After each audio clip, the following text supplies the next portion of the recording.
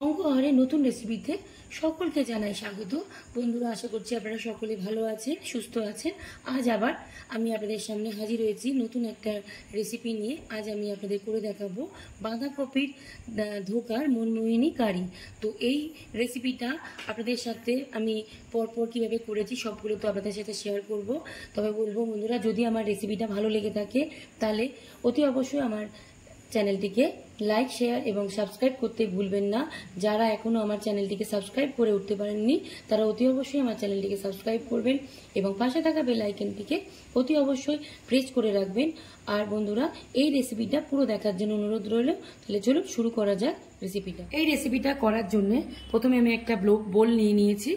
আর এখানে আমি নিয়েছি আধখানা বাঁধাকপি বাটা। প্রথমে আমি আধখানা বাঁধাকপিকে ছোট ছোট করে কেটে নিয়েছি। তারপর বাঁধাকপির মধ্যে সামান্য একটু নুন দিয়ে ওর মধ্যে চটকে জলটা ঝরিয়ে নিয়েছি। তারপরে মিক্সিতে পেস্ট করে নিয়েছি। আধখানা বাঁধাকপি এখানে আমি বোলটার মধ্যে দিয়ে দিচ্ছি।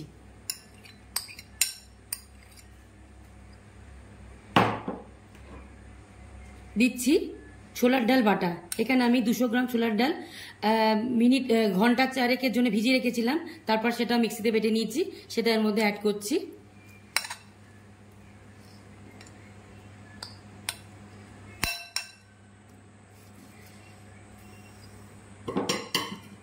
এরপর দেবো এখানে কাঁচা লঙ্কার আদা বাটা, সেটা এখানে এক চামচ অ্যাড করলাম। দেব হাফ চামচ হলুদ গুঁড়ো, হাফ চামচ, হাফ চামচের থেকে কম একটু লঙ্কার গুঁড়ো, কারণ কাঁচা লঙ্কা দেওয়া আছে, ঝাল হয়ে যাবে। দেব হাফ চামচ ধনে গুঁড়ো।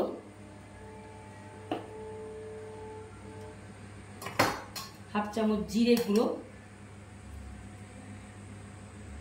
আর দেব ভাজা মশলা।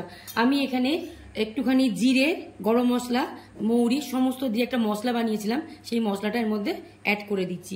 এতে কি হয়, গন্ধটা খুব সুন্দর বেরোয়।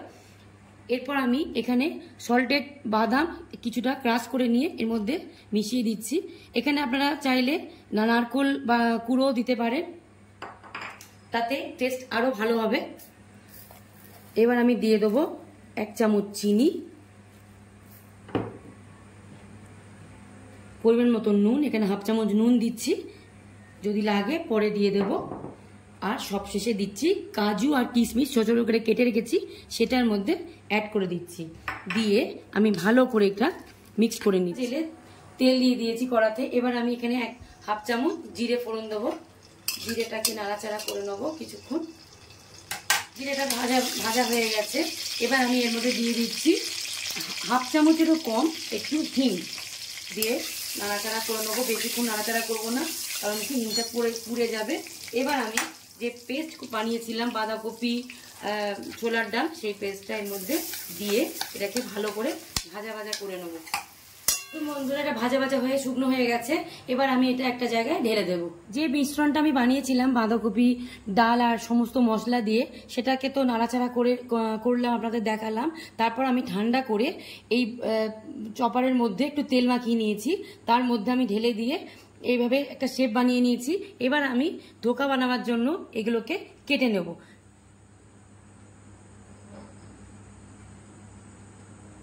একটু মোটা মোটা করে এইভাবে আমি কেটে নিচ্ছি।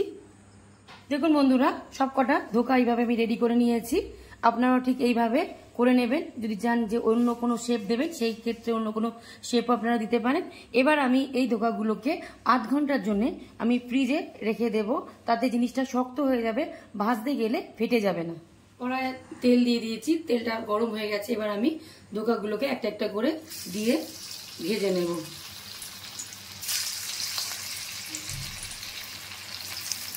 ভাজা হয়ে গেছে, এবার আমি তুলে নেব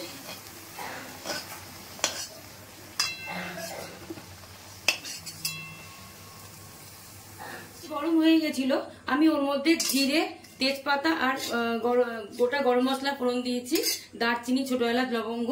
এবার আমি কুচনোর দুটো টমেটো ছোট ছোট করে কাটা আছে, এটার মধ্যে দিয়ে দেবো। অল্প নাড়াচাড়া করে নিচ্ছি এবার এর মধ্যে দিয়ে দেবো হাফ চামচ নুন।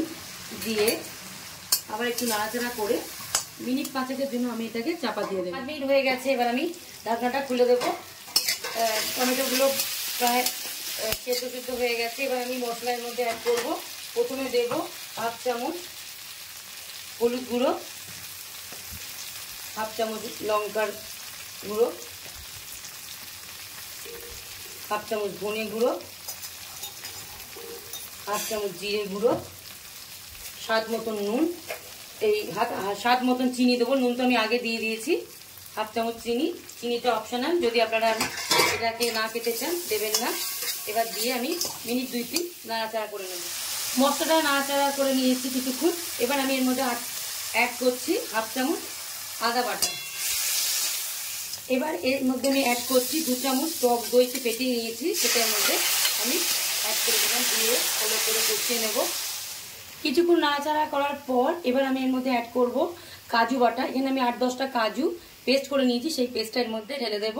দিয়ে কিছুক্ষণ নাড়াচাড়া করে নেব। গ্রেভিটা ফুটে উঠেছে। এবার আমি এর মধ্যে কিছুটা কাসুরি মেথি হাতে ক্রাশ করে এর মধ্যে ছড়িয়ে দেব। এবার আমি ঢোকাগুলো একটা একটা করে এর মধ্যে দিয়ে দেব। ভালো। প্রায় রেডি হয়ে গেছে। এবার আমি সব শেষে দিয়ে দেব সামান্য গরম মশলা গুঁড়ো। হাফ চামচের মতন গরম মশলা গুঁড়ো দিচ্ছি। ওপরে দিয়ে দেব হাফ চামচ ঘি। আর দেব একটু সামান্য ফ্রেশ ক্রিম আমার কাছে আমুলের ফ্রেশ ক্রিম ছিল, আমি উপর থেকে একটু ছড়িয়ে দিচ্ছি। এটা অপশনাল যদি আপনারা মনে করেন দিতে পারেন। হয়ে গেছে আমার বাঁধাকপির ধোকার মনমোহিনী কারি তো এই রেসিপিটা আপনাদের সাথে আমি সবটাই শেয়ার করেছি, কীভাবে করেছি সবটাই আপনারা দেখলেন। যদি ভালো লেগে থাকে, বলব অতি অবশ্যই বাড়িতে একবার ট্রাই করবেন। আর যদি ভালো লেগে থাকে, তাহলে আমাকে জানাতে ভুলবেন না। তাহলে বন্ধুরা, আজকের মতন এইটুকু। আবার আমি নতুন রেসিপি নিয়ে আপনাদের সামনে হাজির হব।